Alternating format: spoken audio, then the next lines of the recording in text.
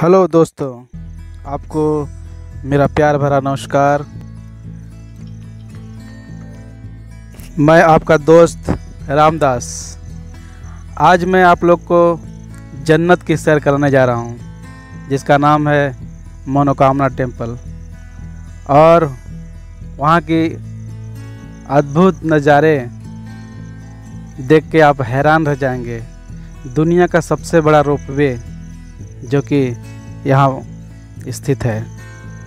तो आज चलते हैं आप लोग हम नेपाल मनोकामना मंदिर की सैर करा देते हैं। और यहाँ का नज़ारा अद्भुत है। पहाड़ की चोटियाँ, नदियाँ।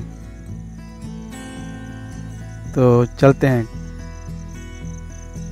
तो हम चल पड़े हैं गेट क्रॉस कर लिए हैं और अभी रोपवे के की तरफ़ चल पड़े हैं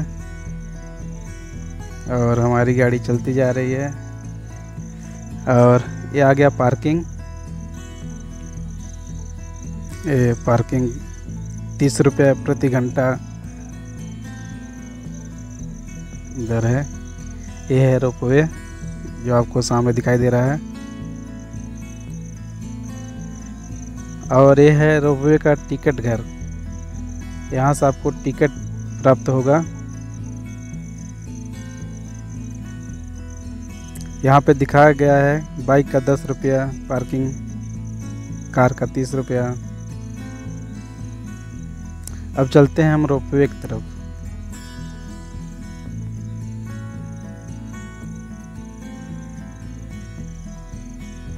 और हम आ गए हैं काउंटर पे।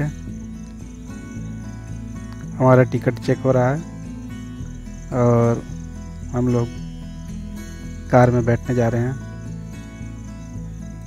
और बैठ गए, हमारी कार चल पड़ी है। पहाड़ों की ऊँची ऊँची चोटियों के बीचों बीच ये देखिए, पहाड़ से नीचे नदी का नज़ारा कितना अद्भुत है। कितना प्यारा है। यह हिमालय को छूती हुई चोटियाँ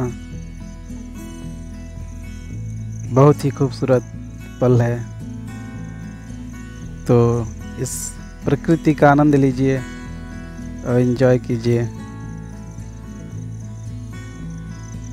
ये ऊँचे ऊँचे पेड़, ये पहाड़ झरने, कभी भी आप आइए तो बिल्कुल रोपवे से ही आइए। इसका आनंद ही कुछ और है, जो ज़िंदगी का असली मज़ा यहीं मिलता है। इस रोपवे की कुल लंबाई तीन किलोमीटर से भी ऊपर है, और हम अभी पहुँच चुके हैं अपने गंतव्य पर। इस नज़ारे को देख के ऐसा लगता है कि जैसे हम मानो हम चीन में आ गए हैं। ये हमारा पहाड़ के ऊपर ऐसा नज़ारा है। जैसे लगता है कि हम किसी बहुत बड़े सिटी में आ गए हैं। देखिए, चारों तरफ़ दुकानें सजी हुई हैं और हम उनके बीचों बीच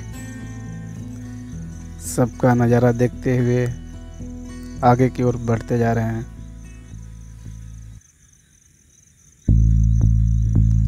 ये देखिए, कितनी अच्छी अच्छी दुकानें सजी हुई हैं।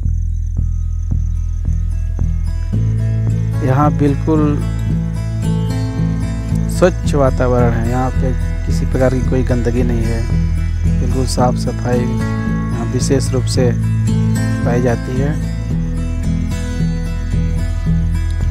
तो आगे बढ़ते हैं हम लोग। और सामने मनोकामना टेंपल का नज़ारा दिखने लगा है। इसकी छतें सोने से जड़ी हुई हैं। जो देखने में कितनी खूबसूरत लगता है।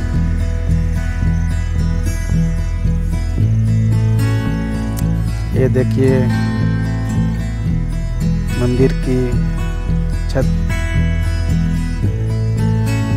ये पिलर। ये घंटे हैं, घंटा है। बहुत बड़ा घंटा है। और आगे बढ़ते हैं हम।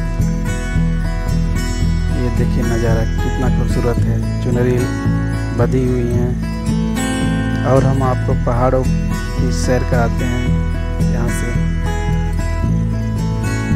ये देखिए, यहाँ से दूर दूर तक हिमालय को छूती हुई चोटियाँ।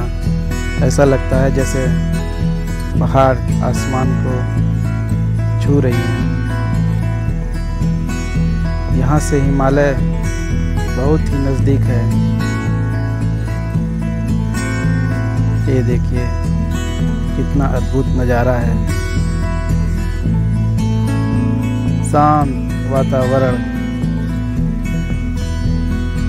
ये देखिए, चिड़ियों की जहाज़, ये चिड़िया हैं, कबूतर हैं, यहाँ पे दाने चुगते हैं, चुनते हैं। ये इधर बड़ी बड़ी दुकानें सजी हुई हैं। ये देखिए। अब ये बर्तनों का बाज़ार है, जो मिट्टी से बने हुए हैं।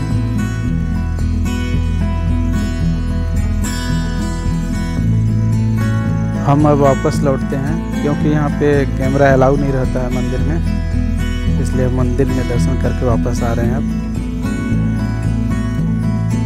ये देखिए, लकड़ी से बने हुए सामान है। अब हम आ गए हैं काउंटर पे फिर से पुनः। रोपवे से वापस जाने के लिए।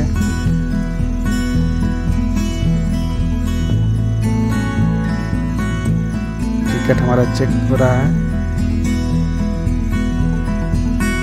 ये हमारी सेवाओं के लिए उपस्थित है। अभी हमारी कार आ गई है। हम इसमें विराजमान होते हैं और चल देते हैं। ये देखिए, वापस का नज़ारा देखिए।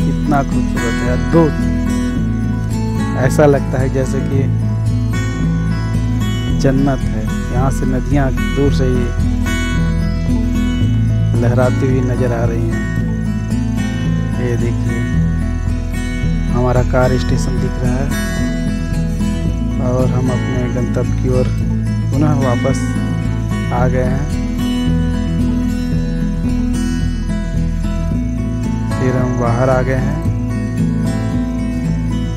यहाँ से कार जाती है। और हम फिर पुनः गेट से वापस आते हुए। आप सबका बहुत बहुत धन्यवाद। हमारे चैनल को लाइक सब्सक्राइब करें। धन्यवाद।